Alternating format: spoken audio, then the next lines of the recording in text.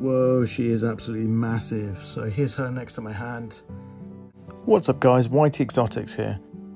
Since I was a kid, I had this dream. Basically, I wanted the biggest tarantula that I could possibly own, and that was the Goliath bird eater and any of the tarantulas from the New World climates of the world. And those tarantulas kick off urticating hairs, so this was one of my primary motivators for wanting to take one of the old world spiders. As you can see, the, the titular spider in this picture here, the Hercules baboon spider, known for being one of the biggest, um, fueled a passion in me to actually start trying to selectively breed my own adaptation of a species of tarantula by focusing on giant genes. In selective breeding, the principles are basically to take the biggest to the biggest and then breed those together to key out giant genes in the resulting offspring and you can do this over generations. It's been done with a lot of things. Actually, recently the uh, Pepper X chili pepper has been selectively bred down and down the lines to create something that is much hotter than the original parent species. Now back to the Hysterocrates Hercules, which deserves a video in its own right for being an absolutely humongous old world spider. There's only one specimen known and it's held in the British National History Museum, but this deserves a video in its own right and I will do that at some point. This also served a huge part of my passion. This spider was reported to have gotten to about 10 to 11 inches in leg span, and the actual spider fell short of that at around 8 inches, but still a massive old world spider. So that fueled part of the passion Brief mention and thanks to Paul O'Sullivan for some of the imagery used here, but you can see the spider came from Jebba in Nigeria, and there is only one specimen known, but these motivators were enough to actually fuel a full-scale project and here's the result. So I started this project in 2011 and I had a huge 8-inch uh, female gigas. People that watch my channel will know that I was showing a lot of videos on her. I also ended up getting a, it was supposed to be a, a Hercules but it was, I'm guessing a gigas and its final molt ended up being 7 inches, which was very large for the species um, for a male, and it had a big carapace. So I ended up line breeding down, and I'm about generation 4. So here's her next to my hand, and yeah, clearly she's uh, over 8 inches. I'm not entirely sure how big she is, but she's a very, very big girl. This is the product of selective breeding. This girl is one of the biggest I've got. She is absolutely enormous, over 8 inches probably closing on nine inches and uh, I've been at this for well since 2011 I've been selectively breeding spiders in the hopes to actually create a spider in the old world variety that actually rivals a Goliath bird eater.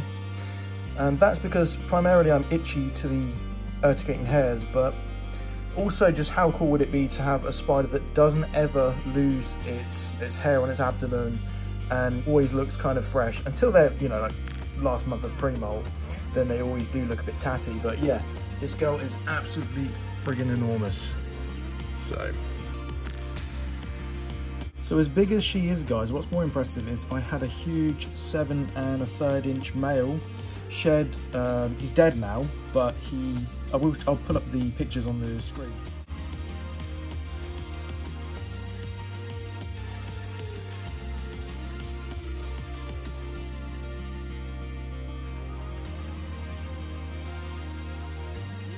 He was uh, paired to this female and my largest females, not that female, that was the old one that used to start the project.